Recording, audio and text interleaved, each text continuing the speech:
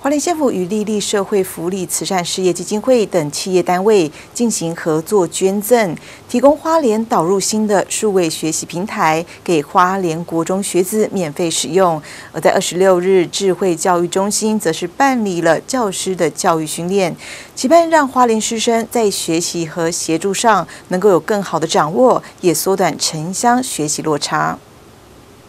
疫情影响，远距教学成为师生停课不停学的解决方式。丽丽社会福利慈善事业基金会立宇教育协同天方能源、溧阳机电企业单位和花莲县府合作，捐赠 AI 力的三六五线上教学整合管理平台，提供给花莲国中学子免费使用。二十六日上午，在智慧教育中心，县长徐正伟、教育处长劳中到场了解平台功能及教师研习状况，并颁发感谢状给立宇教育总经理朱大文。县议员李秋旺也到场关心。那在这，我要谢谢这个立宇集团，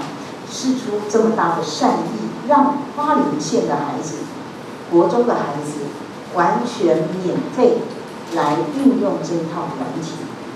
从今年的国一一年级。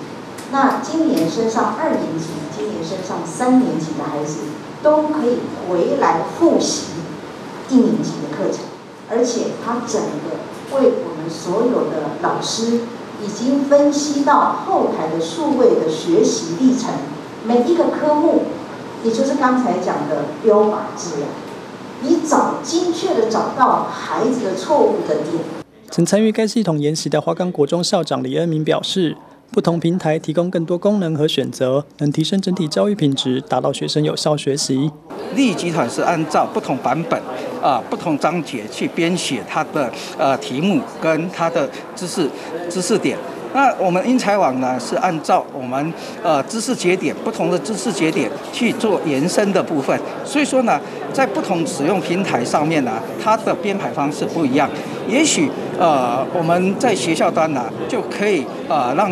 老师了解利集团的呃使用平台。跟英才网的使用平台，或者是我们 AI 测评网的使用平台，这都是我们在教学上面呢是非常有利的一个呃工具。我想呃，不管是哪一个平台，对学生啊，对老师都是有相当呃大的帮助。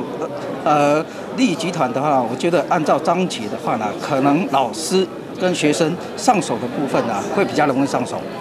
利于教育提供的数位平台，三年免费让花莲县内国中师生使用。教师研习课程由利于教育人员担任讲师，说明平台登录路径、线上派卷功能、课后影片补强教学等内容。此盘借由平台系统分析学生学习历程，帮助学生学习，缩短城乡学习的落差，也让教师更能了解学生学习状况及积极度。